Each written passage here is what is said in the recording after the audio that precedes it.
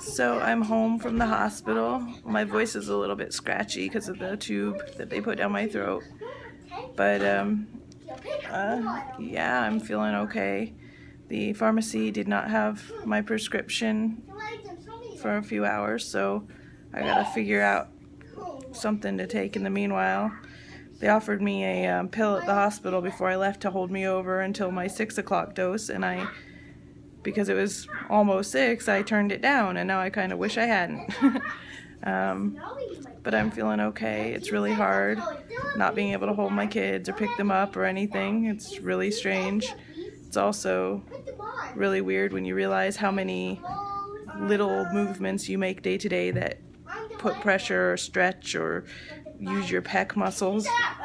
I'm learning even opening a car door, not good, not something I can do quite yet. So, looking forward to learning all the other things that are going to hurt me over the next few days. Um, yeah, so basically, I'm probably going to go to sleep here soon. We got to clean off the upstairs bed, um, get me set up with just my own little room that I can shut the door and keep the kids out because my kids like to crawl in bed with me and climb on me and they're not going to be able to do that for a while so uh, realistically I'm just really tired and I just want to sleep my kids don't really care what happened they're just uh, you know it's another day to them they know I got my boobs cut off and they're asking a few questions but mostly they're just playing like any other day so Mark's been really great he didn't stay at the hospital um, right as soon as they took me back. He left. Um, he was supposed to come home and take a nap because he was up till 4.30 last night. But uh, instead, he just did a lot of work because he had a work emergency. So poor guy is running on fumes.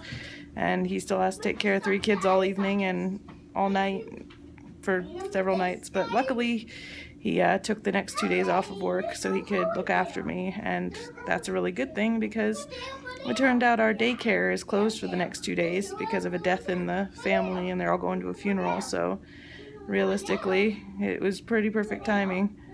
Um, yeah, I'm just exhausted right now, but I wanted to update. Um, the pain is not that bad. It's it's okay. It's you know it's sore. Um, doesn't feel great, but it's really like I feel a lot better than I anticipated feeling. Um, and that's obviously without pain meds because I don't have any yet. So I would say it's a lot less than I expected.